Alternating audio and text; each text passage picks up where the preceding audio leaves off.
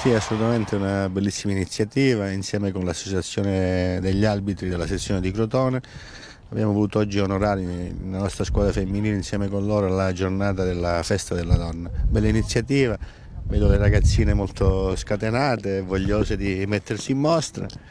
Pertanto, e speriamo che da qui possa nascere anche un, no? un futuro, una squadra importante anche nel settore femminile della, nella città di Crotone. Da diversi anni ormai sì, no? sono diventate anche in, in, Italia una realtà importante, anche la nazionale. Eh, sono squadre importanti che militano nella massima serie, pertanto è uno sport che si sta avvicinando molto anche alle donne. E eh, ripeto, la speranza è che a Crotone possa nascere qualche, qualche, qualche campionessa nel mondo del calcio.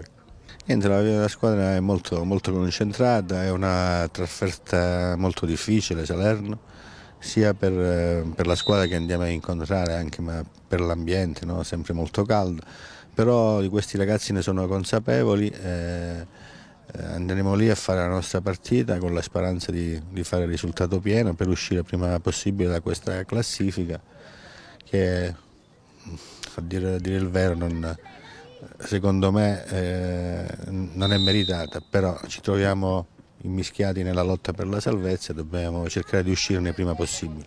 Sì, assolutamente sì, i ragazzi lo sanno, l'allenatore pure, saranno dieci finali, eh, a cominciare da domenica sera. Eh, per, da lì speriamo di, di uscirne prima possibile da questa situazione perché è paradossale che il Crotone con questa squadra si possa trovare a lottare nei bassi fondi della classifica. Sì, sono, mm, sono sempre iniziative che eh, ci danno l'opportunità di parlare sempre di regole in, eh, in questa società che spesso sono disattese o comunque non rispettate e insegnare ai ragazzi che bisogna comportarsi nel modo, sempre nel modo giusto, civile, rispettare soprattutto gli altri è importantissimo.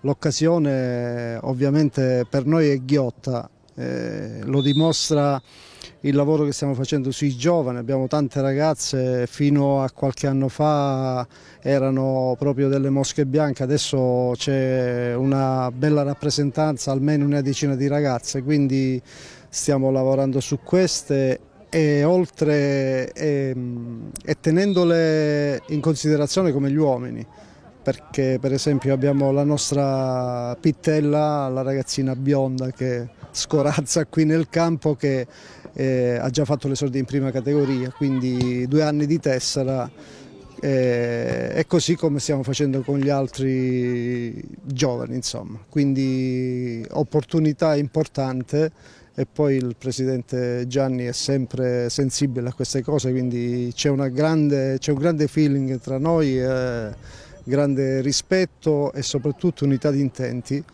che anche lui è, su questa stessa idea di dare ai giovani le opportunità che meritano.